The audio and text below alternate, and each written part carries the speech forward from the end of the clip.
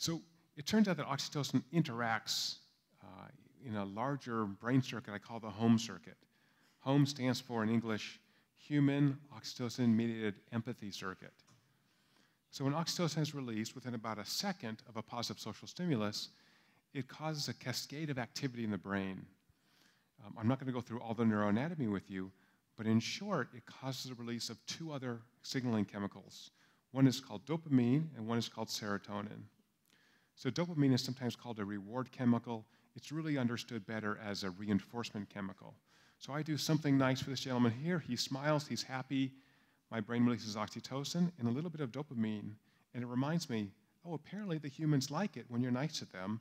Please continue doing this right? That's what it means to be a social creature. You're nice to me, I'm nice to you, we're all happy, right? So you can think of oxytocin as being the biological foundation for the golden rule, right? Which every culture on the planet has.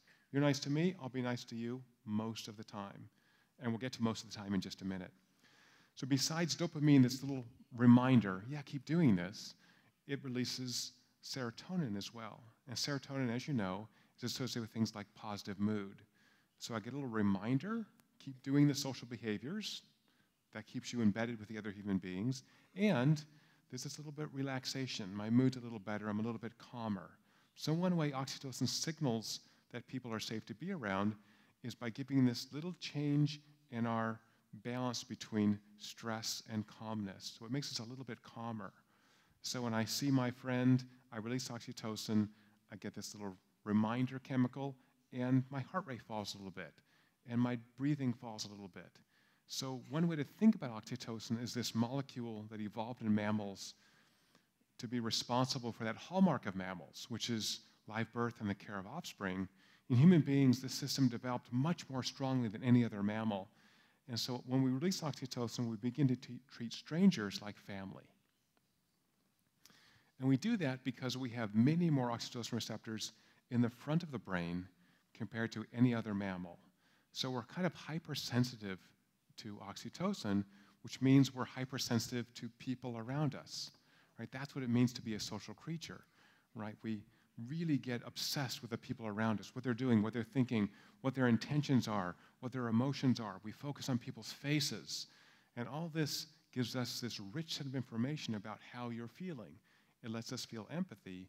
And when we feel empathy, I treat you like family, and I'm unlikely to hurt my family member. So that's really the foundation of oxytocin behaviorally. Okay, so where does the system go wrong? So we've investigated a number of factors that can inhibit the release of oxytocin, and one of those you are already aware of high levels of stress.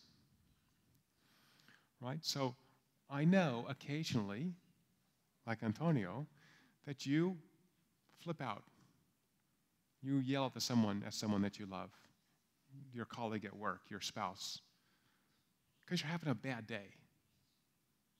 And then what do you have to do the next day? You've got to go into work or go home and go, Gosh, I was such a jerk yesterday. I am so sorry. I had a car accident, my dog died, whatever. I hadn't slept for three nights. And we understand that. We understand that if you yell at me once in a while, you're not a bad person, you're having a bad day, right? your normal mechanisms that allow you to be nice to other people were inhibited, and that's oxytocin. So, the other potent oxytocin inhibitor that we found is the most important chemical to half the people in this audience testosterone. So, it turns out that high levels of testosterone inhibit the release of oxytocin. So, in experiments in which we've given testosterone to men and compared their behavior to men on placebo, we find that high testosterone males are more selfish and more entitled. That is, they offer less money to people around them and then demand more from others. So, who are the most entitled, least empathic people on the planet? Teenage boys, which half of us used to be, we can tell you that.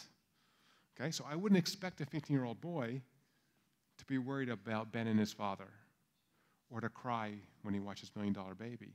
But nature's really beautiful. It turns out that when you're in a committed relationship as a man, your testosterone falls. When you have children, your testosterone falls. As you age, your testosterone falls. Now, I don't have evidence for this other than my own experience, but if you have girl children like I do, and you pick out little dresses every day, you become a girly man, and your testosterone goes to zero.